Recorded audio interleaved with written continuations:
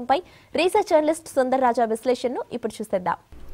ఈ వారం చూస్తే కనుక మార్కెట్ ఒక ఒడిదొడుగులతో కూడిన మార్కెట్ చూసాము. మార్కెట్ హై నుంచి రియాక్ట్ అయ్యి మళ్ళీ లో నుంచి రికవర్ అయ్యి ఒక వాలటైల్ ట్రెండ్తో ఉండడం మనం చూసాము. దీనికి ప్రధానమైన కారణం చూస్తే కనుక అమెరికన్ మార్కెట్స్ కూడా కొంచెం సైడ్ వేస్లో ఉండడము.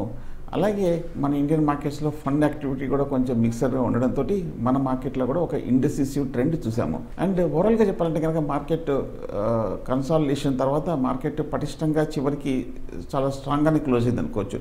వీక్లీ చార్ట్లో చూస్తే కనుక నిఫ్టీ ఒక మూడు వందల పాయింట్ల వరకు లాస్ట్ వీక్తో పోలిస్తే మైనస్లో క్లోజ్ అయింది.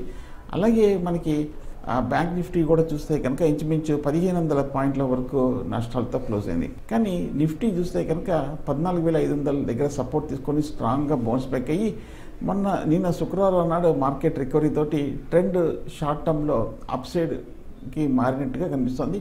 ట్రెండ్ చూస్తే కనుక మళ్ళీ అప్ ట్రెండ్లోకి వెళ్తున్నట్టుగా కనిపిస్తుంది. సో మార్కెట్ నిన్నటి శుక్రవారం రికవరీ తోటి ట్రెండ్ మళ్ళీ కొంచెం లాంగ్ సైడ్కి బయాస్గా కనిపిస్తుంది. సో కాబట్టి ఇన్వెస్టర్లు ఈ లెవెల్లో షార్ట్ టర్మ్లో షార్ట్ టర్మ్ బై పొజిషన్ తీసుకోవచ్చు. ఎందుకంటే లాస్ట్ రెండు మూడు వారాలుగా చూస్తే కనుక చాలా ఫ్రంట్ లైన్ స్టాక్స్ ఒక టెన్ టు ఫిఫ్టీన్ పర్సెంట్ వరకు కరెక్ట్ అయినాయి. కరెక్ట్ అయ్యి మద్దతు దగ్గర కొంచెం స్థిరంగా ఉన్న ఫండమెంటల్గా స్ట్రాంగ్ కంపెనీస్ని తీసుకోవచ్చు. ఒకసారి మనం స్టాక్ వైజ్ చూస్తే కనుక pharma IT stocks last one వీక్గా మంచి కరెక్షన్ చూసాము. ఆ రెండు కొంచెం మద్దతు లెవెల్స్లో ఉన్నాయి. ఇక్కడి నుంచి కొంచెం బౌన్స్ బ్యాక్ అయ్యే అవకాశాలు కనిపిస్తుంది. ముఖ్యంగా ఐటీ స్టాక్స్ లాస్ట్ రెండు రోజులుగా చూస్తే కనుక ఒక నీజర్ రియాక్షన్ తర్వాత కొంచెం నిలకడగా ఉన్నట్టు కనిపిస్తుంది. సో డాలర్ రూపీ కూడా కొంచెం పెరిగే అవకాశాలు ఉన్నాయి కాబట్టి ఇవి ఐటీ స్టాక్స్ మీద పాజిటివ్ ఇంపాక్ట్ అనేది కనిపించవచ్చు.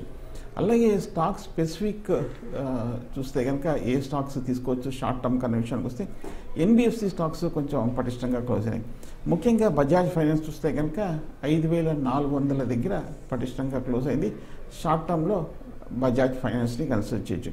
అలాగే చోళమండలం ఫైనాన్స్. ఐదు వందల యాభై రూపాయల దగ్గర స్ట్రాంగ్గా క్లోజ్ అయింది. షార్ట్ టర్మ్లో చోళమండలం ఫైనాన్స్ని కూడా కన్సిడర్ చేయొచ్చు ఇన్వెస్ట్మెంట్ కోసం.